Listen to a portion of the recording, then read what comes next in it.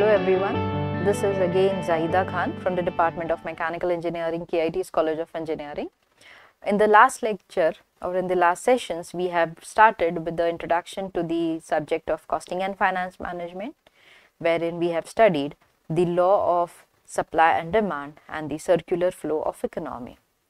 So there was a reflection spot that was asked at the end of that particular session, which was what do you think is the most affected parameter because of the law of supply and demand? Well, the answer for that is nothing but the cost of the component and thereby the scarcity or the easy availability of that particular resource. So in today's session, we'll be starting with the efficiency and types of efficiency.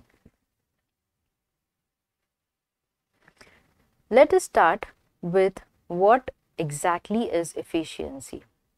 So, when do you say that a system is efficient?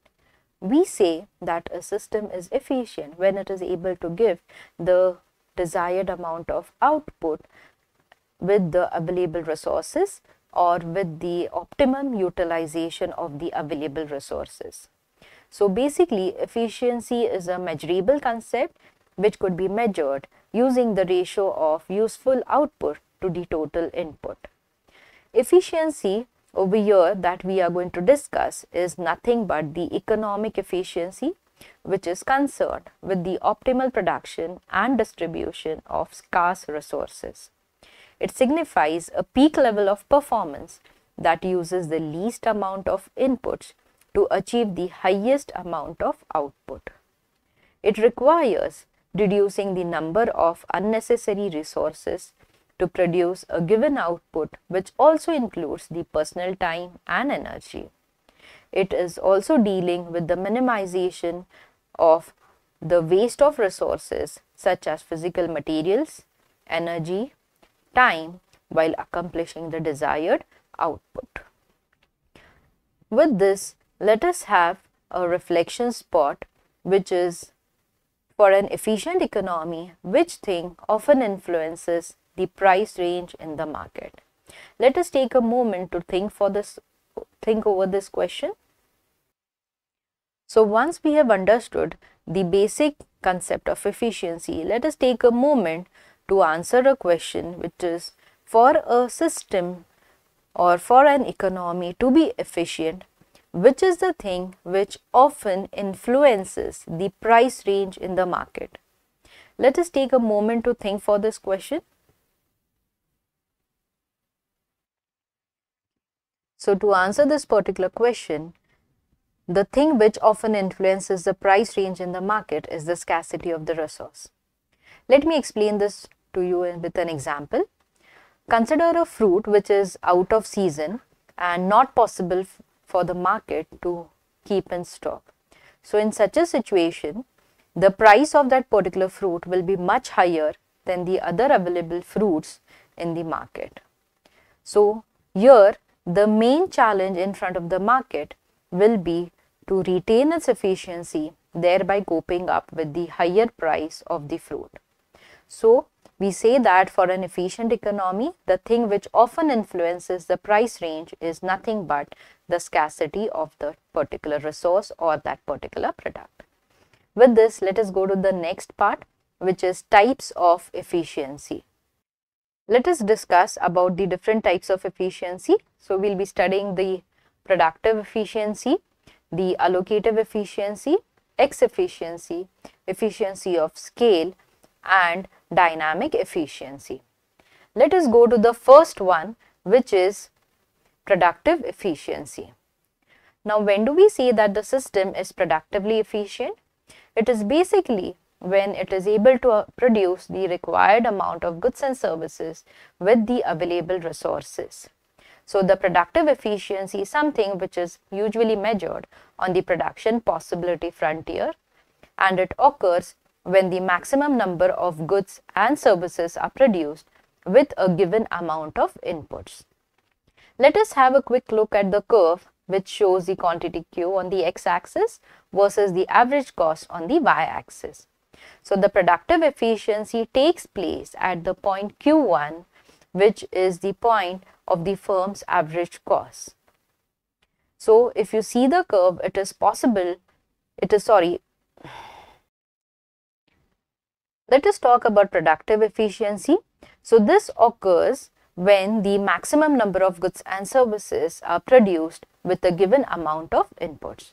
The productive efficiency is a term which is basically measured on the production possibility frontier. We say that a company is productively efficient when it is um, able to produce the required amount of output in terms of goods and services with the available amount of resources. Let us have a quick look at the graph which shows the quantity Q on the x-axis and the average cost on the y-axis. So if you see the curve, it is impossible to produce more goods without producing fewer services. The productive efficiency occurs at the lowest point on the firm's average cost, which is depicted by Q1. Let us go to the next type of efficiency, which is allocative efficiency. This basically occurs when the goods and services are manufactured or distributed only as per the customer preferences. So, an economy could be productively efficient but produce goods people don't need. So, in that case, we can say that it is allocatively inefficient. Let us again have a quick look at the graph which shows the quantity Q on the x-axis versus the average cost or the price on the y-axis. The point Q1 is the point wherein the price of the good equals the marginal cost of production. So that is the point where the company is allocatively efficient. But let us have a look at another point Q2 which shows the marginal cost of rupees 15 for the quantity of 40 which is much higher than the marginal cost of rupees 6 for the same quantity of 40. So in this case there is an under consumption of resources. So, we say that an economy could be productively efficient and also produce goods which people are needing, but it need not necessarily be allocatively efficient.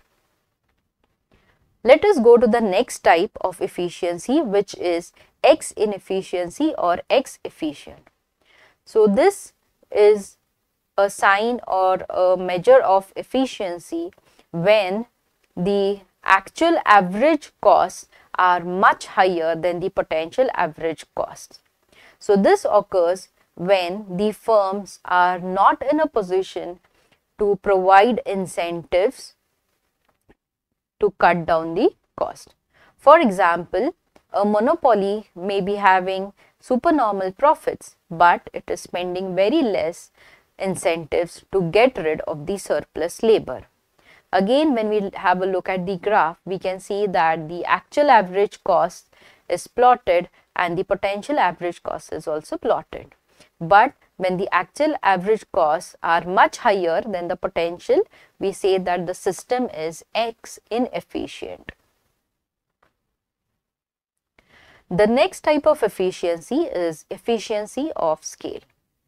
This occurs when the system is able to produce on the lowest point of its long run average cost. Here we need to understand what is long run average cost. Long run average cost is the average cost which is incurred by an organization in the long run or for a longer period of time. Again when we have a look at the graph, which shows the quantity Q plotted on the x-axis versus the average cost on the y-axis, we can see a quantity Q1 at a price or at an average price of P1.